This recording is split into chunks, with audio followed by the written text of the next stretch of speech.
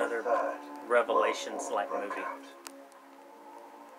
Those of us who survived knew mankind could never survive.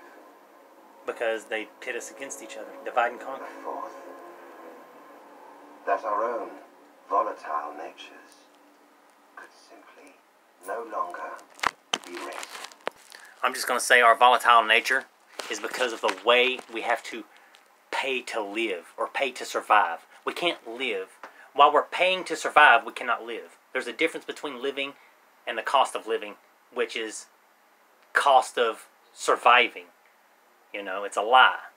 If we can cut that step out and people had the uh, uh, latitude and longitude to be contributors, you know, cultivators, you know, of you know eggs, chickens, whatever. If you have millions of Americans doing this, they have you know a latitude and longitude they can do this from. You can put them to work because there's a lot of people that want to work, you know, but they can't. Like retired people, for instance, they would do that, and you take it to supply houses or whatever, and literally everybody can have something. You know, you can actually go to work to better the economy. That we're not paying to survive anymore because we have that taken care of. That is taken care of. That should be taken care of.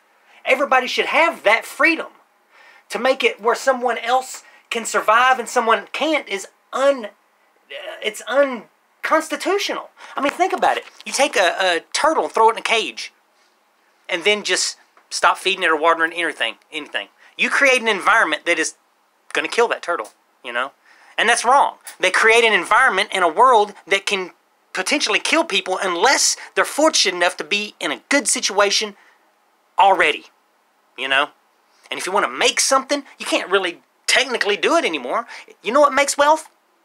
Wealth. Okay? So it, it, stays in its own regime, you know? And in the day a poor person got rich and decided, you know what, I'm sick of the way this shit goes down, and helped the people and was on the people's side and knew what it was like to struggle and suffer with these people, then they would change the way this country is ran. And you know, people love Trump and all this. You know, I don't hate him. I don't love him. I got nothing against him. I got nothing for him. You know, I've never met him. I just know of him as being an ass. But, you know, I ain't going to say that of him, particularly because all of them are. Has any of them ever actually saved this country? No. All they did, got in, did some shit, made them a little bit of money, got out, you know. Then the next guy comes in, screws the country for a little bit, gets out. I mean, what are they doing? Just running the train on the country? I mean, come on. It's exactly what they're doing.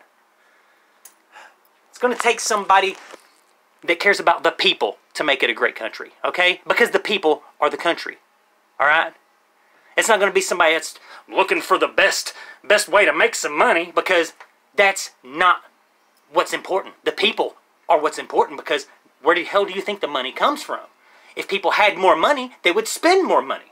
See what I'm saying? I mean, there's this country could be fixed.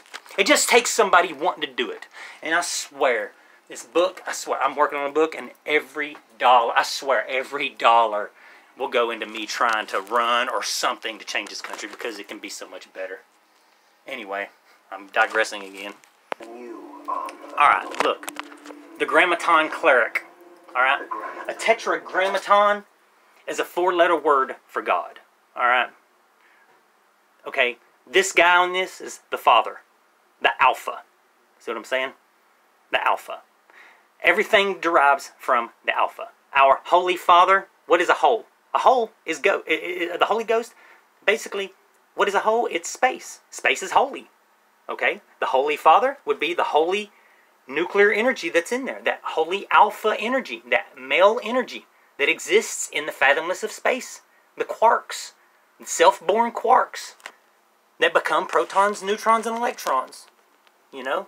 So it's a lot more fundamental than people ever would think when it comes to the idea of God and, you know, quantum science and, you know, even connections in movies, you know? I mean, come on. I mean, it, I could give someone a solid answer on a lot of things that make perfect sense that they would have been like, wow, I never even would have thought of that, and it was right in front of me the whole time.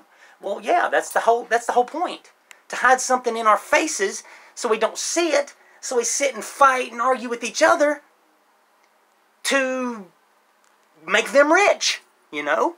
If we're fighting, divide and conquer, then we're not paying attention to them. We're paying attention to what each other's thinking. You know, oh, well, I care about what you think. I care about what you think. You know, I, I, uh, you better think what I think.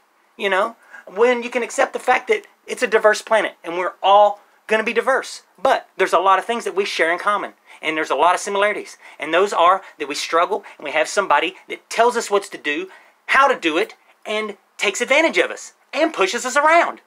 All of those, most likely in that order. So I'm just trying to say, you know. Oh, God. Anyway, I'm, yeah, I'm, I'm, I guess I'm saying too much. Anyway. Task it is to seek out and eradicate See, another extinction thing, you know. Man's inhumanity. Man's inhumanity is the, the government, you know, and money. That's our inhuma- inhumanity.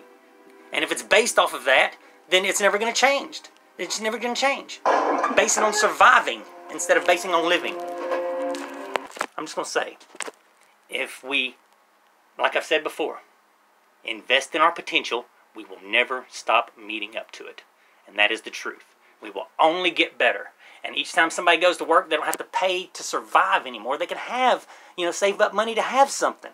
And they're working, you know, and their bills and all that stuff's already paid up. So they're working to better the economy.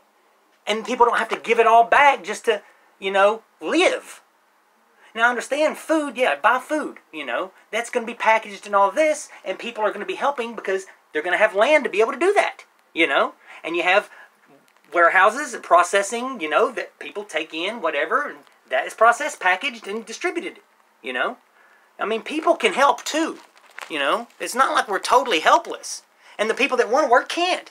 You know, there needs to be a system set up that when you go and apply for a job, it's not you go and apply and maybe get it, maybe don't. You sign up, you get a job. You sign up for a job, you know? Not this crap, oh, you might, you might not, and then all based off nepotism. I mean, what the hell is the, a modern guy and an American man supposed to do, or a woman? What, what are we supposed to do? Bust our asses to, to make ends meet and can barely barely get the, the, the ass of the chain to meet the head of the chain. I mean, it's like we're just one link away, you know? Can't ever make the end meet. I'm just saying, I'm just throwing that out there. I'm just saying. I'm gonna just throw this out there. You know, you got a lot of single fathers, single mothers out there trying to make ends meet, and then somebody that has a problem with them or any slight, and then you got social services breathing down their damn necks to make their lives worse. You know, and then just steal their kids, set them up in a home where you can anybody off the streets can go sign up. I mean, they post things on the side of street corners. Hey, if you want to be a foster parent, come and sign up. You can be a bum on the streets, and you could sign up and take care of somebody's kid because we think they're unfit. So we're going to basically take a child out of a loving, fit home and give them to some bum that signed up, you know, but to be a foster parent. That's what they did to my children. Oh, yeah. Yeah, they put me through a year of hell. But I won, but I'm just saying, it's bullshit, man. I mean, this is, is this what we want? Is this what our forefathers actually thought? They, they this is probably what they thought because that's why they put the first 10 you know, I almost say I almost say Ten Commandments, you know, the first ten amendments into place because they knew that governments would get powerful and they knew that they would start raping the people. You know, and that's why they did what they did and set up with gun control, you know. You know, I understand gun control, but if you take the guns away, people cannot defend themselves if the government wants to go ahead and go in and eradicate them, you know? You know, I mean, we should have a well-regulated militia. Every, every neighborhood, but people should be more responsible because it's not guns that kill people. It's people that kill people. It's not religion that kills people. It's people that kill people. Money and the love for it kills people. When it comes to the capitalism, like I said, eh, I'm not, I'm not saying that capitalism isn't important. There should be some sort of it. Capitalism in the society. But you do not capitalize on death. And you do not promote death and capitalize on that.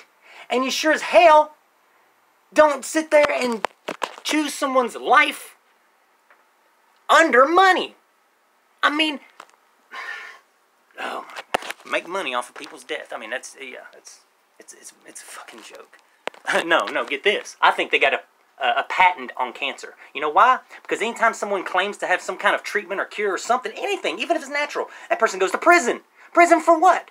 Well, it's probably copyright infringement because they got a patent on it. There's no logical reason why a person helping somebody should go to prison for it, especially if it's cancer. All right? But if there's no money to be made, we could throw them in jail because we got a patent on it, you know?